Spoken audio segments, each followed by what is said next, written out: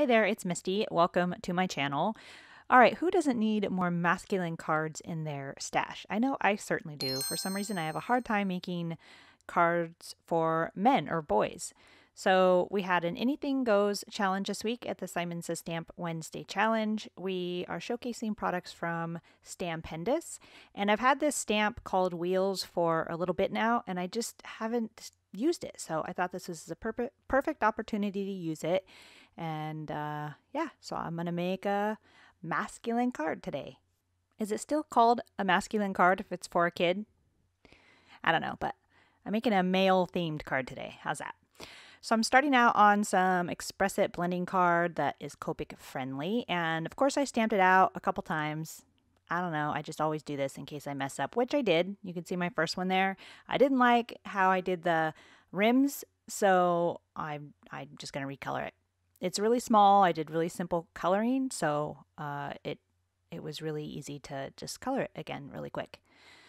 So I'm doing some BGs on the top part. I thought the teal and the orange looked really good together.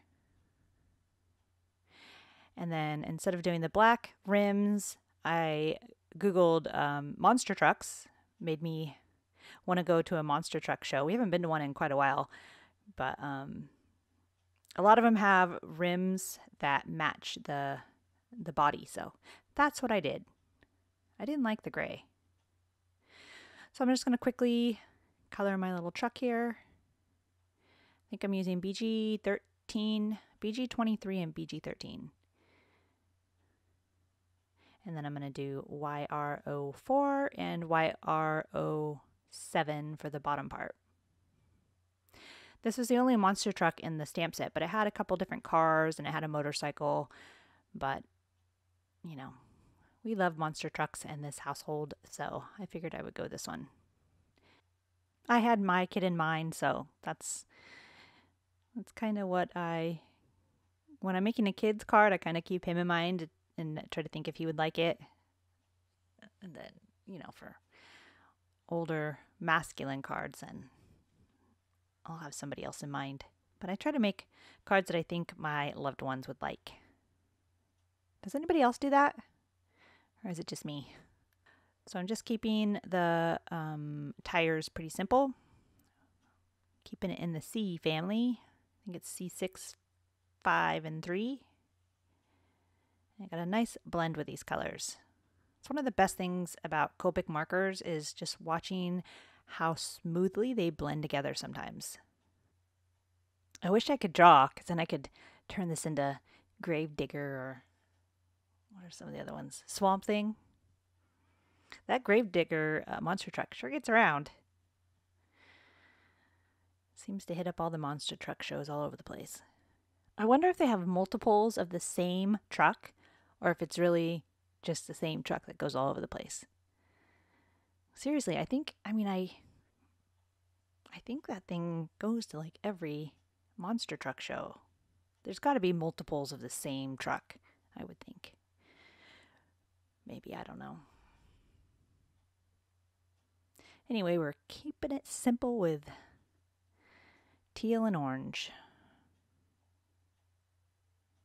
Kind of, there's a, uh, reminds me of, what's that cartoon? Scooby Doo. Isn't this Scooby Doo colors, teal and orange? I'm getting a total Scooby Doo vibe looking at this thing, so I think it is. Isn't the van teal and orange? Or teal and teal and green, maybe? Maybe it's teal and green. I don't know. When I look at it, I think of Scooby Doo. So I'm going with it.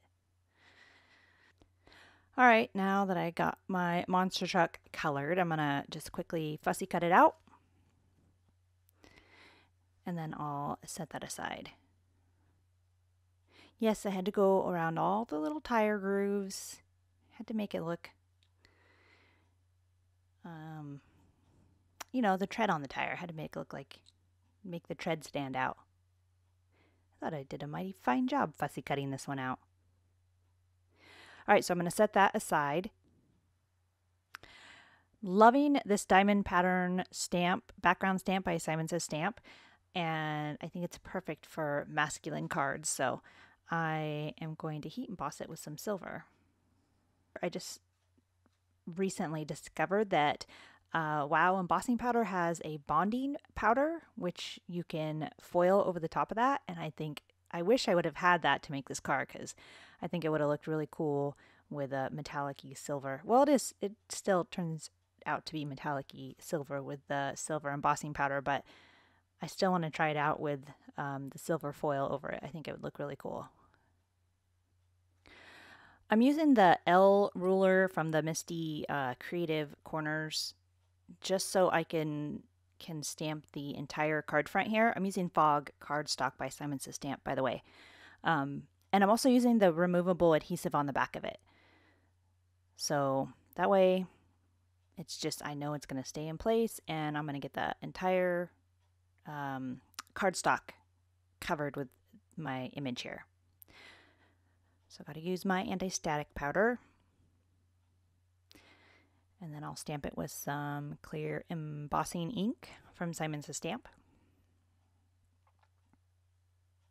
You don't have to use the removable adhesive if you're using that L ruler. I just, I'm just used to it, so it's kind of a double layer of protection. and it removes off the back really easy. So I didn't get a very good impression the first time, so I went ahead and stamped it again, but I didn't realize it until I opened it that it looked like the whole bottom half didn't get stamped. Sometimes I have a hard time uh, pressing hard enough on my MISTI door, and I don't want to break it. This is the the older version of it, so it's kind of cracked where it's hinged hasn't hasn't uh, actually broke yet, but Have a feeling I'll be replacing this in my future. But so I try to be delicate with my MISTI, but sometimes I have to stamp it again. And then I'm just going to cover it with some silver embossing powder and then heat set it. Looks really pretty. But see how cool that would look with the metallic silver foil over it? It reminds me of the pattern on my um, on the toolbox on the back of my husband's truck.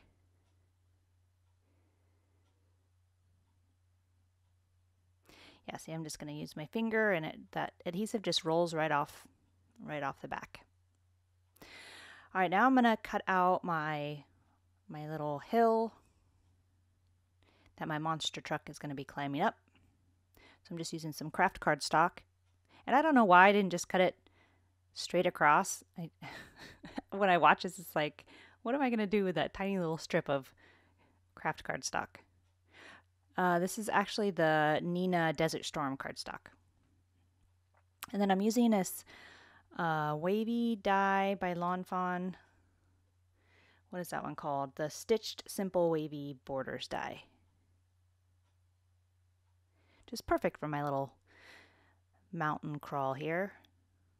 So I'm just going to try to figure out how I want it angled and where I want it on my in my little square there. I believe the stitch squares are also from Lawn Fawn. I'll have all my supplies listed in the description below. I should have said that at the beginning, but yeah, it was Lawn Fawn stitched squares that I used. And then I'm just going to go over it with some vintage photo distress ink, and also the gathered twigs.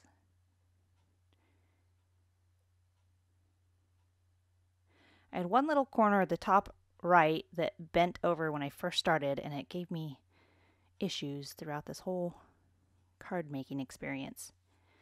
But it didn't break off, so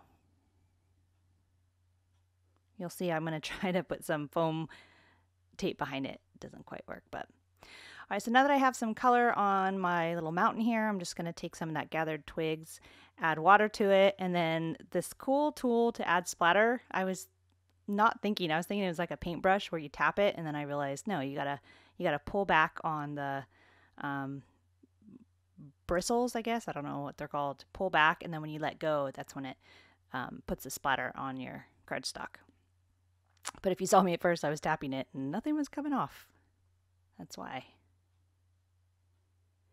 Sometimes I wish I had a different angle to film because, you know, I get into it and I am not paying attention. And that's a lot of times when my head will get in the shot, or like, right, you just saw my hands in the shot and you can't even see what I'm doing.